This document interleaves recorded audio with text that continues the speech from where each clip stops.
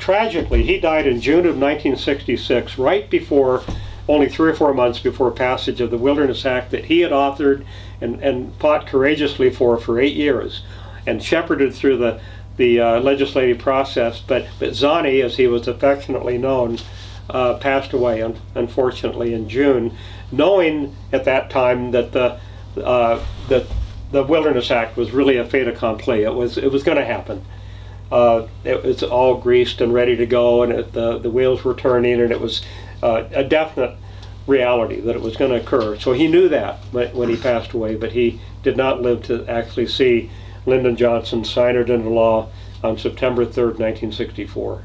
He was a word master, and just to read. Oh my that, goodness! Actually, in, he was in present day uh, perspective, a very short act as far as a few pages, but it's it's literature to read it. It, it's it's a it's a work of prose. It, it truly is, and and and coming up uh, with with words like wilderness is an area that is untrammeled. That that's brilliant when you think about it, and, and that word is often confused with trampled you know, we an area that we that's untrampled. Well, yeah, we don't want to trample it, but really, a trammel is Old English for net. Yeah. So when we say untrammeled, it's unnetted by by humans. Mm -hmm. That's what I was trying trying to draw out earlier when we were talking about the the restraint. I, I had. I was wondering actually. What were you doing in 1964? Were you? I was college? a student at the uh, learning how to how to cut down trees. So you were learning how to destroy wilderness. That's yeah, what I was doing. 1964 at, yeah, the University of Montana. Yes. In fact, at that time, I was at forestry camp at Lubrecht, having a ball. I mean, I, I loved forestry school, but I, I look back on it now, and I certainly wouldn't select that as a major. I'd, I'd go into uh, into resource conservation and environmental studies, certainly, but but I but in those days, uh, those options didn't exist, -hmm. and and so uh, I wanted to to be a steward of the forest and thought that getting becoming a forester was the way to do that. And I, I had in mind to go through a career path within the agency. My dad had gone through forestry school in the 30s and at U of M.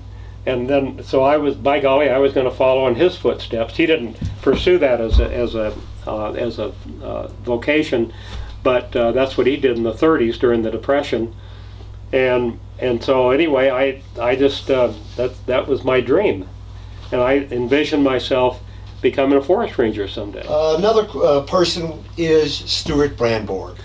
Oh gosh, uh, you know I met Stewart Brandborg for the very first time in 1968. I was um, I was in basic training. I, I completed my master's uh, on the Magruder Corridor controversy at that time, Stewart was the head of the Wilderness Society in Washington, D.C.